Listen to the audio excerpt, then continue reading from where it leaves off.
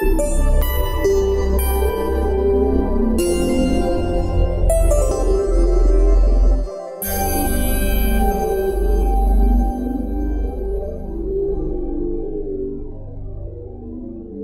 more to go in terms of uh, mental health and substance abuse.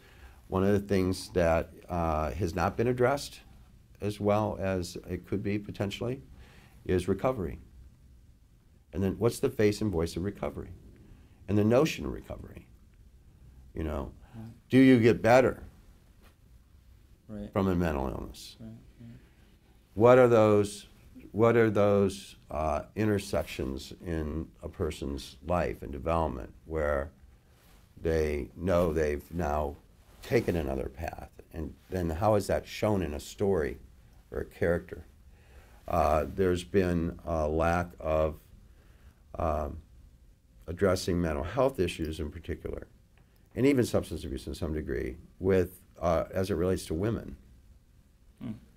Uh, and where their lives are further down in the story arc.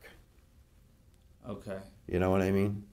Uh, and then there's certainly been uh, not as much recognition as could be possible uh, in terms of, especially when you have a long running series and you may have had a storyline carrying through that on addiction or mental health.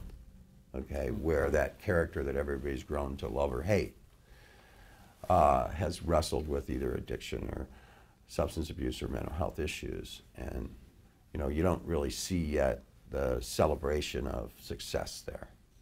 Ten, Okay. five years later, you know, Right. ten, seven years later. Right. You're saying when it's not a feature film, when it's something that's a long running series, then you really could have that change in, in the area of mental illness or substance Right. abuse as well. You can see, because it is a, so, it's a behavioral change and social change process.